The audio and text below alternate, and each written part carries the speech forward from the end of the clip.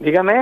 Hola, muy buenos días. Le llamo de la Seguridad Social. Sí. Tengo aquí la documentación que me ha mandado eh, Fomento y Construcciones y Contratas, ¿verdad? Sí. Referente a que usted tiene una jubilación eh, que ha pedido usted anticipada, ¿verdad?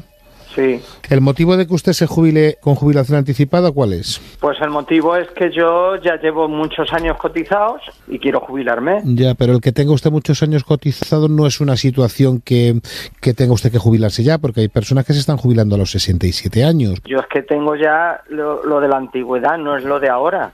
Sí, sí, pero yo le respeto todo eso porque, por supuesto, habla usted de un derecho que tiene usted, pero que han cambiado mucho las cosas. Y antes de dar la jubilación, como inspector, pues me gusta consultar y hablar con ustedes por si hay alguna forma de que ustedes pudieran aguantar un poco más. Yo estoy mal de la espalda y del cuello. Ya, pero bueno, es que tampoco, vamos a ver, yo lo que le pido a usted y a muchas personas más que me, me dedico a hacer este tipo de llamada es porque eh, estamos en una situación de presupuestos bastante mal en la seguridad social. Es decir, por Hola, ley... us- buenas. Hola, buenas. Sí, ¿con quién hablo? Soy su hija. Oh, eh, estaba hablando con su padre referente al tema de la Sí, pero como esto no, él no sé, muchas cosas no se entera, que el problema el que llamas. No, el problema no, señorita, es que le estábamos hablando porque le llamo de Fomento de Construcciones que me han mandado una carta Ah, referente vale, a una jubilación anticipada y le estaba comentando a su padre que está en una situación ahora mismo el Estado donde intentamos de una manera u otra que aguanten un poquito más.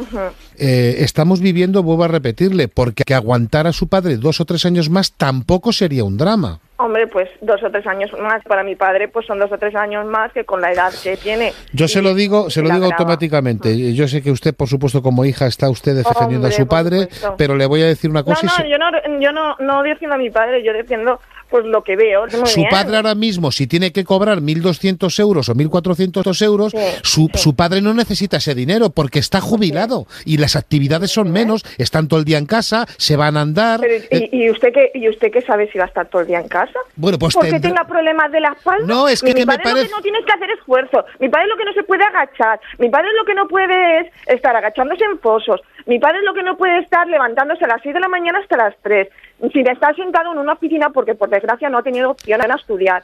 Entonces, todas esas cosas se pueden hacer, no se pueden hacer. Pero mi padre puede coger un autobús, un coche, lo que sea y acercarse a Alicante. se está metiendo en un Sí, apartado con un inspector de la. Seguridad Social donde usted no sabe ni lo que está usted diciendo. Si para unas cosas está su padre en una situación que dice usted que tal y para otras puede coger tren para ir a verla a usted a Alicante. Oiga, si está mal, está mal y si tal, tal. Es que eh, luego decimos que este país nos lo estamos cargando. Es que nos lo estamos cargando nosotros mismos. A ver, por favor, en ningún momento le estoy chillando para que usted me No, yo no le chillo, ¿eh? que soy el Pues inspector. no lo sé. en- ¿Cómo se llama usted? ¿Cómo se llama usted? Yo Mercedes. Mercedes, cariño, escucha un momentito. Soy Isidro Sí. Montalvo del programa Atrévete de Cadena Dial. No te rías ni nada, pero le estoy gastando una broma a tu padre ¡Ay, la de, madre que te parió! de parte de los ¿En compañeros. Pásame con tu padre. Don Ramón, Dígame. don Ramón, soy el inspector de la Seguridad Social. Le voy a decir una cosa. Escuche esto que le pongo. Mire, Dígame. Lo tuyo es puro teatro. don Ramón, que le estoy gastando una broma en la radio de parte de sus compañeros. Le paso un momentito con alguien que le quiere saludar. Ramón, ¿Quién es? que soy Paco, no te preocupes, que es una broma, hombre. Pero Paco, nos estás dejando de piedra. Bueno, Yo pues. ya estaba temblando. ha Yo digo, sido- a ver si me estoy... Venga, un abrazo grande, familia. Hasta luego, Francisco. Hasta luego. Hasta luego. Venga, chao, chao, chao, chao, chao, chao, chao, chao, chao.